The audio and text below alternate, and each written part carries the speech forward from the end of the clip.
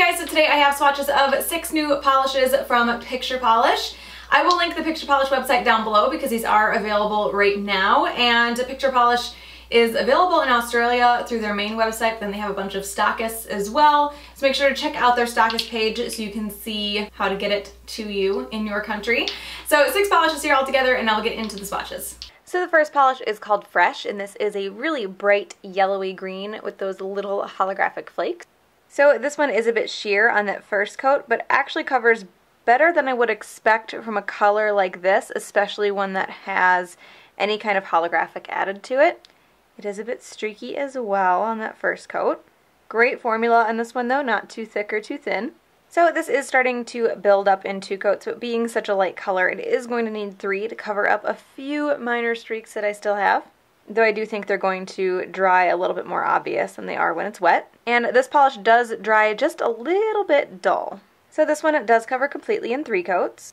And I feel like that third coat adds just enough opacity for it to be considerably more bright between two and three. And because those are little tiny flakes that are in there, it's not going to dry textured at all like a glitter would, and it's not going to be difficult to remove. So that is three coats of Fresh.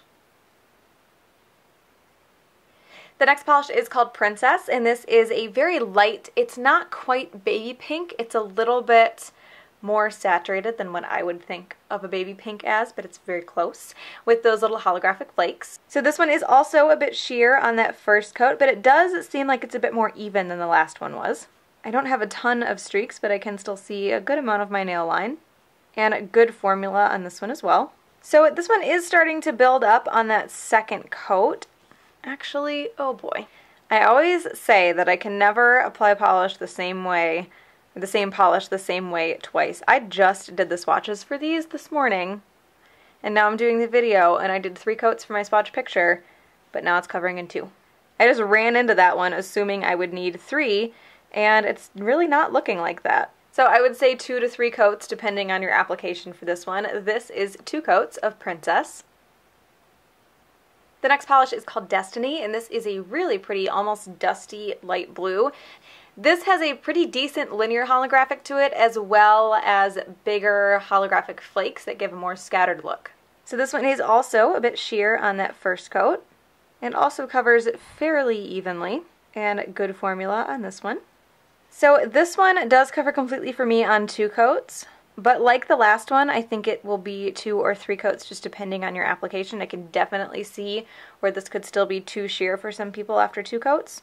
And there's nothing in here that dries incredibly rough, but it does dry a little bit dull, so you will want top coat. So that is two coats of Destiny. The next polish is called Eternal, and this is kind of like a tangerine orange color with those little holographic flakes. So this one is a little bit sheer on that first coat, but overall actually covers pretty well.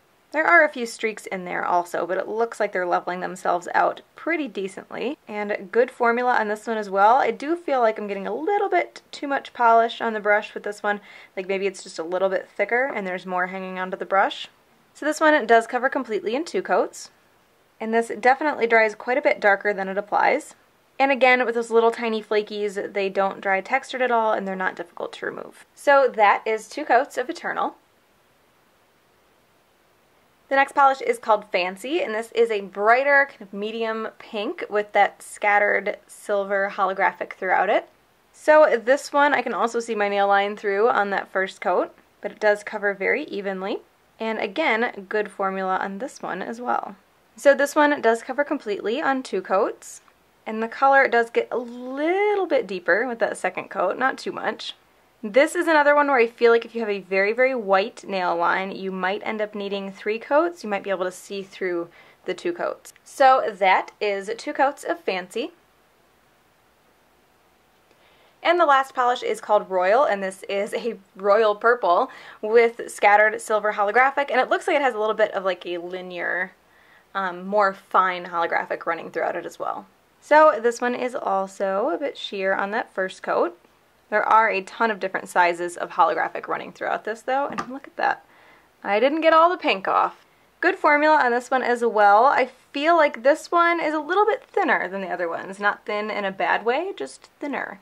So this one does cover completely in two coats. You can see that second coat deepens the color quite a bit.